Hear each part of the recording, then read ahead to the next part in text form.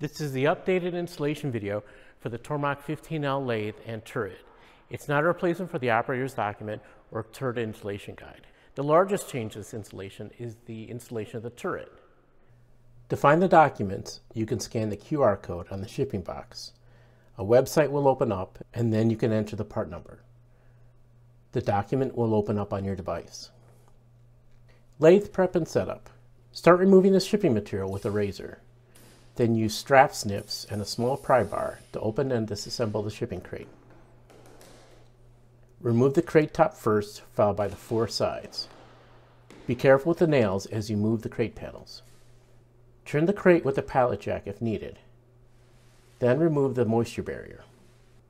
Open the coolant tank door and slide the coolant tank off the shipping pallet. Cut the straps that secure the e-stop box and power cable to the pallet and place them aside. Remove the two axis panels on the front and back and set them aside with screws. Loosen and remove the lock and retaining nuts from inside the axis panels with the 17 millimeter open end wrench. Identify the two right-hand bolts located inside the controller cabinet. Loosen and remove the nuts and washers from the two bolts from the front and back of the cabinet. The preferred method to lift the lathe off of the pallet is to attach some lifting feet. We have four. It's in the set uh, part number 33269. It comes with the four feet, the pads, and four screws. Use these to jack them up. To get them on, you need to take a sawzall and cut a strip of wood all the way down the length of the pallet on both sides and up against the supports underneath. I originally cut notches at each lifting foot location, but now the lathe is shipped on a wider pallet so that no longer works. Secure each foot with the four sets of socket head cap screws, locking washers, and washers.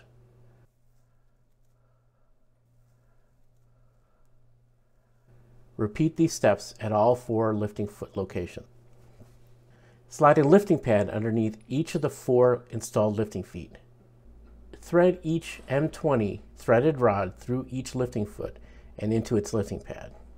To raise the lathe with a threaded rod, a socket wrench will work, but an impact wrench is better. Gradually adjust each lifting foot to raise the lathe evenly until the lathe is clear of the floor. Here I had to cut off the section of the pallet floor that I didn't cut off earlier. Slide the pallet from underneath the lathe and discard. Since the intention of this video is to demonstrate the installation of the turret inside the enclosure, we need to keep the lifting feet on until we get to that.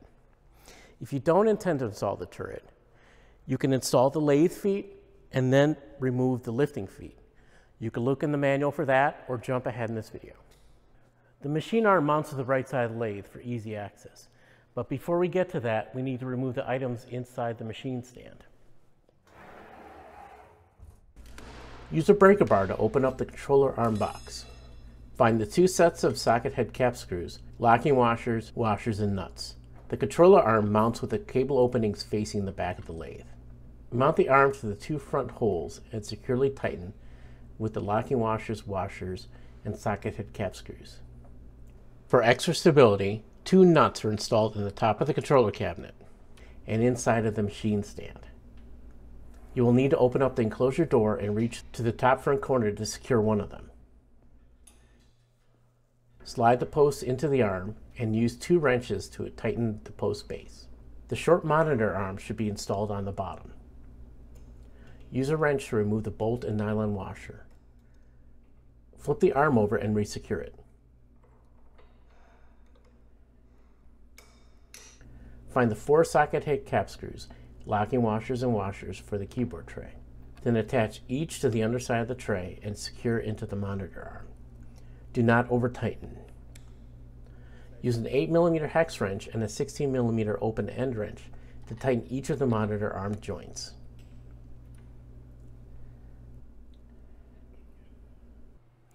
The PathPilot controller is installed on this VESA mount. If you're using the standard monitor, you keep this plate on. In this situation, we're installing the touchscreen, so we need to replace this plate with this one and then attach the VESA mount onto that.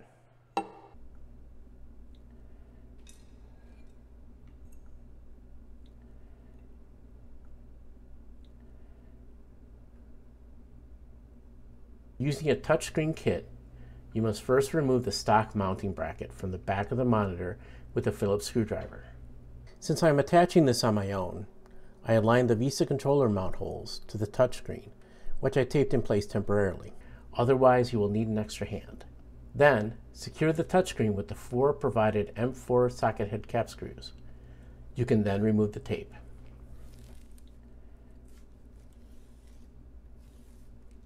Flip the PathPilot controller over and attach the four standoffs on the bottom by hand.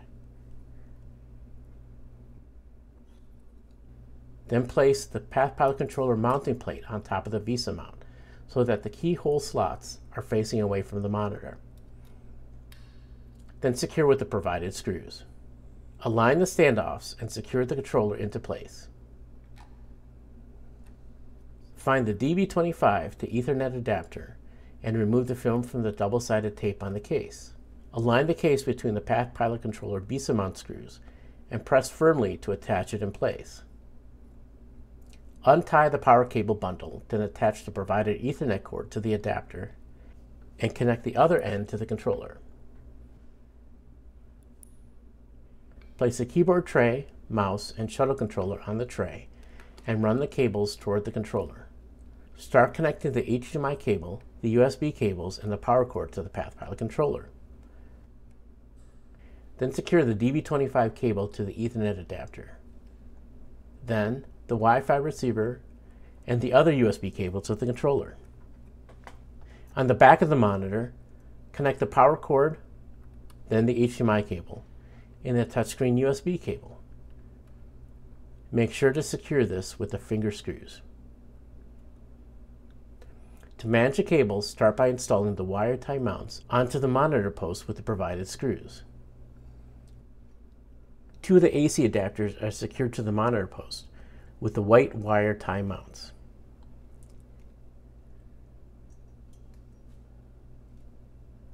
Remove the backing one at a time and place where the AC adapter cables will lay. Then secure the cable ends with the wire ties. Do this for both AC adapters. When you attach the AC adapters to the machine arm, make sure you attach the cable on this end with the male plug.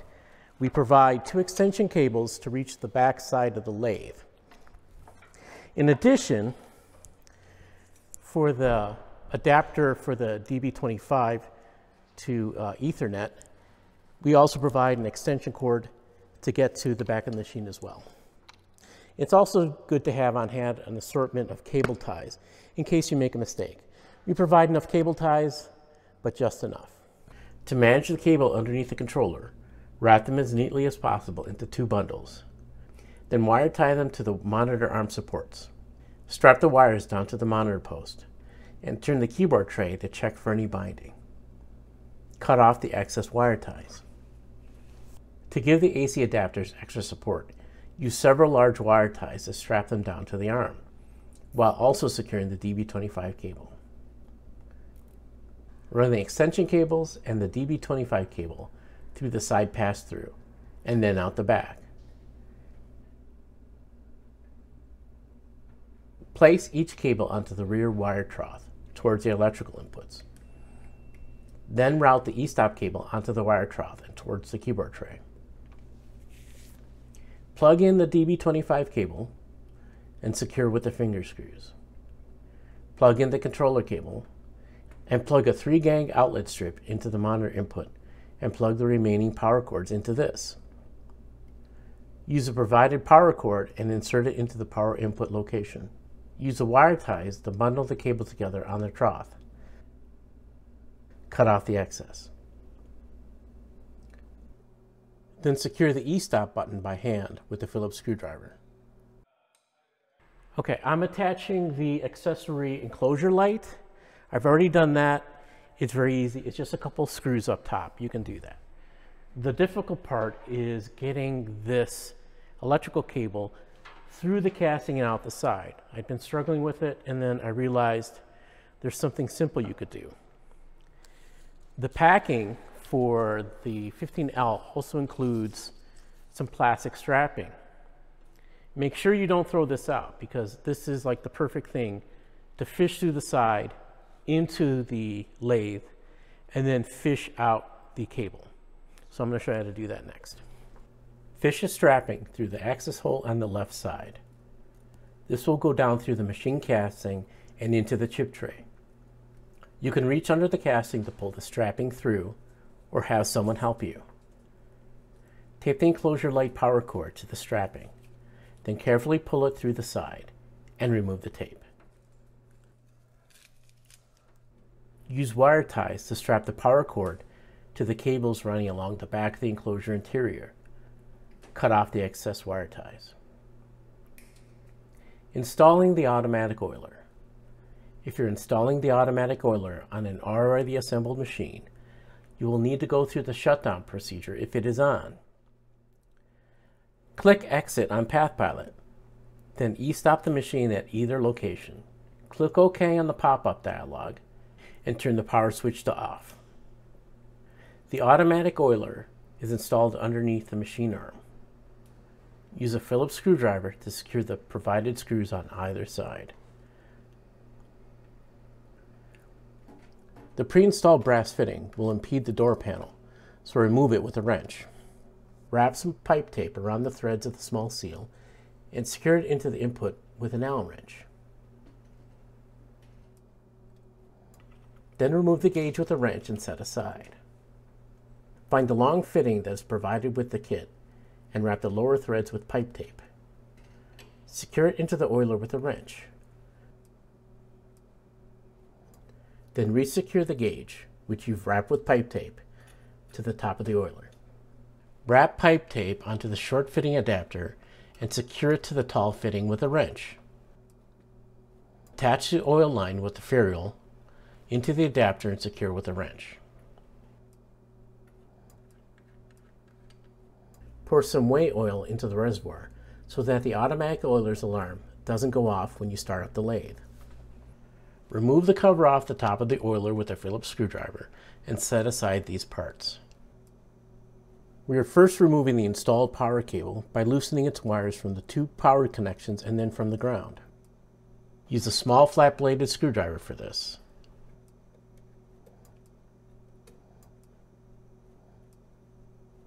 Then loosen the cord grip nut and pull the power cable out of the oiler through the grip on the side. You can discard this power cord. Inside the automatic oiler kit is an electrical cable. Uh, there's two ends. This end that's been stripped down already goes through the lathe and into the electrical cabinet. Don't cut off these ends to attach into the automatic oiler. This is the end you need to just cut off a few inches to get to the cables to attach to the top of the automatic oiler. Cut back in the new power cord sheath a few inches and clean off the excess insulation. Strip off about a quarter inch off the tips of each cable. Feed the cord through the cord grip nut and then through the cord grip. Insert the ground into the oiler's ground terminal and secure the terminal screw. Then do the same to the black and white wires into the number 1 and 2 terminals and tighten their screws. Replace the cover. The oil line to get to the automatic oiler is inside of this enclosure behind this rear back panel. You have to take a three millimeter Allen wrench to remove all these screws and then remove the panel to get to it. Then snip off the wire tie holding the oil line bundle together and slide the line into the enclosure stand. Fish the plastic strapping tape through the side casting hole and into the chip tray. Tape the oil line to the strapping and then pull it through the casting and out the side. Lay the oil line on the rear wire trough, making sure there's plenty to reach the oiler and to give freedom of movement inside the chip tray. Secure it with wire ties, then snip off the excess. Attach the two wire tie mounts provided with this kit to the side of the stand with M5 screws and an Allen wrench. Both the e-stop cable and the oil line are attached to these with some wire ties. Open the electrical cabinet door, then loosen the cable grip nuts under the cabinet with two wrenches. The one provided with this kit is larger, so that the hole has to be sized up to 13 16ths of an inch with a step drill bit. Install the new cable grip and then tighten with two wrenches. Then slide the cable grip nut onto the new cable from the automatic oiler and feed the cable through the new cable grip. Tighten the locking cap and secure the pass-through with two wrenches. Remove the three trough covers. Route the oiler cable through the bottom trough, the ground cable into the terminal block, and continue to route the other two along the side and top trough. Insert a small flat-bladed screwdriver into an empty ground slot and tilt it up slightly. Insert the ground wire and remove the screwdriver. Pull on the wire to check if it is seated securely. Crimp the provided spade connectors onto the end of the white and black wires.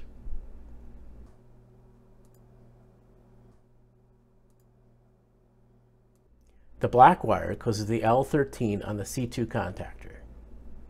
Loosen L13 with a Phillips screwdriver, and since there are several wires already installed, you may have to pull them out a bit to slide the black wire in place. Push them all back in and re-secure the L13 screw. Perform the same procedure on the L23 location to install the white wire. Then clean up the wires in the wire troughs and reinstall the covers. Plug in the 120 volt power cord into the wall outlet. Now to install the 220 service, uh, you have the option of either wiring it directly to an electrical panel and hiring an electrician to do that, or you can go out and purchase a NEMA L620 plug and connect it directly to the wires. Obviously there's extra length, you need to cut it down to length and then use the brown and blue wires to connect to either end and the ground. Reassemble the plug and connect it to the wall outlet. If you haven't turned on the 15L, remove the caution, read the operator manual before operating the lathe tag. Then turn the power switch to on and flip the e-stop button open. The PathPilot controller will start up and you will have to go through the screen calibration for the touchscreen. Then input the lathe serial number and designate the Tormach model machine you own. Set up the automatic oiler. On the oiler, push and hold the feed button for two seconds. The oiler will then push oil through the distribution system. Examine along the oil line for any leaks. To specify the interval of lubrication, push and hold either of the minutes adjustment buttons the oiler will beep. To increase interval time, push the up arrow. We recommend you set it to 480 minutes or 8 hours. To decrease the interval, press the down arrow. Do not set the interval time to less than 5 minutes or the equipment could be damaged. To specify the length of time the oil distributes the oil, or actuation time, Press and hold either of the seconds adjustment buttons. We recommend you set it to 12 seconds. Don't set the actuation time to more than 3 minutes, as that can cause equipment damage. Installing the turret. Open the crate with the breaker bar. If the eye bolt isn't already installed, then screw into the top of the turret and tighten with the screwdriver. The turret will slide into the enclosure back end first, so turn the crate to get the correct direction. Straddle the engine hoist over the turret, then attach the hook to the eye bolt and start to raise the turret. Uh, my first attempt to get it into enclosure wasn't too good. I had it set all the way down there to two tons. I'm going to extend the arm to half a ton. And since the turret is only 200 pounds, it should be fine. Uh, also to give it some extra room from the top of the enclosure to rest on the bolts, I want to bring this up a couple links. At this point, if your lathe is off, you must make sure to power it on. Turn the main disconnect switch to on. After PathPilot boots up, turn the e-stop button clockwise to release it. Press the green start button and click reset on the screen. This is a good point to stone off both the table on the lathe and the bottom of the turret. Make sure both are free of burrs and any debris. From the PathPilot interface on the main tab, select Ref X and ref Z to reference the machine. Since the engine hoist and the turret have to navigate into the enclosure, jog the table closer to the opening and over, but make sure there's at least 5 inches room to the spindle from the side of the table. The engine hoist legs need to fit underneath the lathe, so measure the height of your hoist legs. Then raise your lathe higher on all four corners. Do not raise it too fast on any end, as it could tip the lathe. Insert two of the M10 socket head cap screws, two thirds of the way into the bottom locations for the turret. Don't install the washers at this point. To prevent the turret cable from being damaged as you swing it in, it's advisable to wrap it into a bundle and tape it to the top surface of the turret. Slide the turret into the enclosure and angle it towards the lathe bed. Raise or lower it as needed. Lower the turret onto the two screws and installed into the slots and carefully align them. If you hold the turret in place, it should angle easily into place. If you're uncomfortable doing this on your own, ask for assistance. You may also need someone to help lower the engine hoist as you control the direction of the turret. Install M10 by 30 mm socket head cap screws and an M10 flat washer into the open positions on the front of the turret. Then install the remaining three socket head cap screws and washers on the back of the turret. Tighten them relatively securely. One at a time, remove the first two M10 socket head cap screws from the two front slots and then add the M10 flat washers to each and then resecure. Snug down all six screws tightly. When the turret is completely secure, disconnect the lift system from the turret's eye bolt. Then pull the engine hoist away from the lathe. Then remove the tape from the cable bundle. Route the turret harness to the electrical cabinet. Power off the machine. Push the e-stop button in. Click Exit on PathPilot. When prompted, click OK to power off. Then turn the main disconnect switch to off. Route the turret harness over the back of the lathe and then snip off the bundle ties. Drape the turret harness over the energy chain and use wire ties to secure it to the exterior of three joints on the front, top, and bottom. Then secure it to the X-axis motor cable in two locations. Slide the turret harness between the slot on the backside of the lathe and into the chip tray. This harness has to be fished through the lathe casting. But to do this easily, the plate on the harness should first be clasped by removing both lock nuts. Tape up the encoder connector so that it doesn't get snagged inside the lathe casting. Then tape the harness wires to the plastic shipping strap.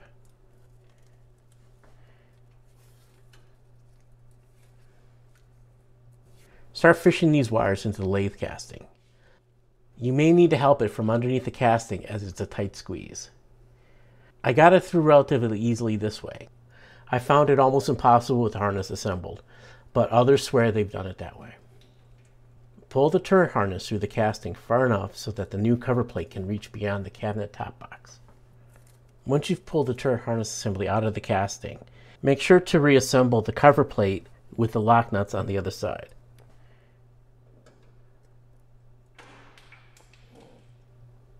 To begin routing the turret harness into the electrical cabinet, you must first unscrew the removable cover plate from the cabinet top box.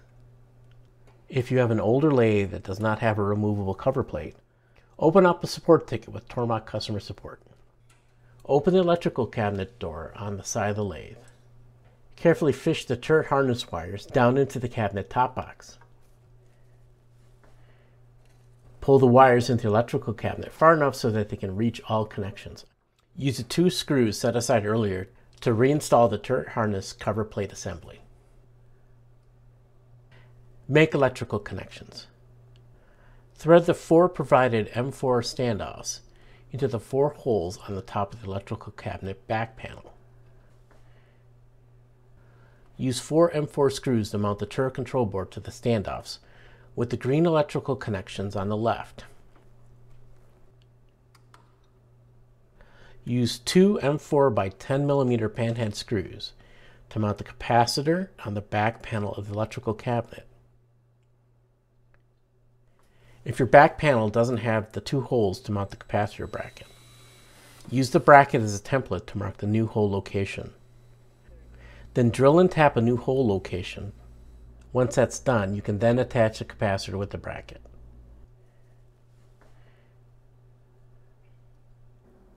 Connect wires L51 and L52 to the P4 and P5 terminals on the turret control board, and the other ends to the capacitor terminals. Since the capacitor is nonpolar, there's no wrong way to connect. Remove the connector block on the side of the turret control board. Then line up the encoder and seat it into place. Open up the ribbon cable locking mechanism on the turret control board. Then line up the ribbon cable and seat it until it's clamped securely. Route the opposite end of the ribbon cable to the lathe control board and secure it in the same manner. The two turret power wires are connected to the power connector block at this point. I noticed that the ferrules on the turret power wires are too long, which is out of spec. We're contacting our vendor to make sure that's correct in the future. If you happen to find something like that, make sure you cut them to a good size so they don't connect. In addition, the copper wires should be cut back as well so they don't connect and cause a short. Loosen the lock screws in the power connector block and connect wires L14 and L24. Retighten the screws snugly. Seat the power connector block into the pins on the bottom of the turret control board. Remove the wire trough covers leading to the lower terminal block and the C1 contactor. Find the turret ground wire and ground wire extension. Then cut the eyelet off of the ground wire and strip off a quarter inch off the end.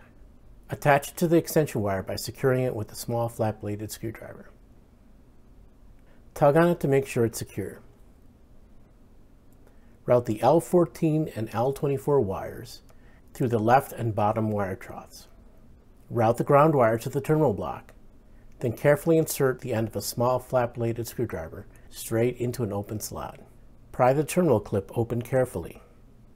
Insert the wire into the terminal block and then slowly remove the screwdriver. Pull on the wire gently to see if it's seated fully. Route the L14 and L24 wire to the C1 contactor. Loosen the terminal lock screw above wire L14, and then piggyback the new L14 spade terminal onto the existing L14 connection on the C1 contactor. Retighten the terminal lock screw to secure both terminal wires. Loosen the terminal lock screw above wire L24, and then piggyback the new L24 spade terminal onto the existing L24 connection on the C1 contactor. Retighten the terminal lock screw above wire L24 to secure both terminal wires. Make sure all the wires are within the wire troughs, then reinstall the covers. Power on the machine by turning the main disconnect switch to on. After PathPilot loads, turn the e-stop button clockwise to release it. Then press the green start button. Click Reset on the PathPilot screen. Then reference the machine by clicking Ref X and Ref Z. Go to the Settings tab and in the tool change options, switch from manual tool change to turret by selecting this option. Then go to the main tab and in the MDI line type in T08, press the enter key. The turret will then rotate to the last position. To check the other positions, type in T0 and then any location between 1 and 7. Press the enter key to go to that location. In this case, we chose location 5. In the Offsets tab, you can press the turret forward button and the turret will move to the next location. You can then cycle through each location if you want. In the RPM dialog box, type in 180 and press enter on the keyboard. Click spindle forward to start the spindle rotation. The spindle will rotate counterclockwise at 180 RPM. Press stop and it will stop. Press reverse and the spindle will rotate clockwise. Pressing stop again to finish this check. All right, all we have left to do is attach a lathe feet to all four sides and then bring the machine down to the ground and we're done with this installation. For the lathe feet, we used to recommend on the threads some grease. Instead, we now recommend anti-seize, which you can find in pretty much any automobile supply store. Make sure you use gloves when applying the anti-seize. Apply a thin amount around all the threads and thread the leveler onto the foot. Apply anti-seize onto the tip of the studs and thread them into the leveler. Then place the spacer onto the stud. Place the top of the post into one of the holes underneath the lathe. At this location, open the side door and secure the washer and nut with the 21 millimeter open end wrench. Repeat this for all four locations. Then reinstall the two small covers that you removed earlier with their screws. You can lower the lathe with the socket wrench, but it might be more difficult. If you do use the impact wrench, be careful not to raise each post too quickly as that can cause the lathe to tip. This footage is sped up, but it took about 12 minutes to slowly lower this lathe down to the ground. Take your time with this. Once the lathe is fully on the ground, each of the posts can be removed. Then each of the lifting feet can be removed at this point. Once the lifting feet are off on all four sides of the machine, take the uh, socket head cap screws, place them in a storage bag, and if any of them are worn out, you can replace them with an M8 by 20 millimeter uh, socket head cap screw with a 1.25 pitch. Okay. Once you've replaced any worn socket head cap screws, place uh, the bag in a box with the threaded rods and the pucks, and then label it well and store it with the lifting feet. Now open the electrical cabinet and bring the cabinet's roller all the way down to the ground by loosening the nuts. Once it's supporting its weight, retighten the nuts and make sure the cabinet rolls smoothly. Setting up the coolant tank. Flip the coolant tank over, then attach each wheel at each location with the provided washer, locking washer, and socket head cap screw, of which there are 16 sets. Flip it back over onto the wheels, then remove the four Phillips screws at the pump location. Slide the pump into the hole and resecure it with the screws you just removed. Insert the nylon washers into one end of the coolant hose, and then thread it tightly onto the pump's outtake. Slide the coolant tank into the opening under the chip tray. Pull the coolant holes up through the opening in the chip tray. Place the second nylon washer into the other end and thread it onto the nozzle pipe tightly with a wrench. Take the pump's electrical cord and plug it into the coolant electrical outlet on the back. This allows for it to be controlled from PathPilot. Place the chip basket into the chip tray opening and place the hose into the notch. Included with the kit are some uh, test pieces to cut and a cutter. Uh, there's instructions how to do that in the manual. And then we also include some shims that you can use for alignment. We'll be making a video and including it up here for you to follow. Also included in this lathe kit is an extra pulley belt this is a high belt, which gives you more RPM. Installed in the lathe currently is a low belt, which gives you more torque. Uh, also up here is another video showing you how to install that. Uh, we hope you found these instructions easy to follow. And from our Tormach family to yours, be safe and happy lathing.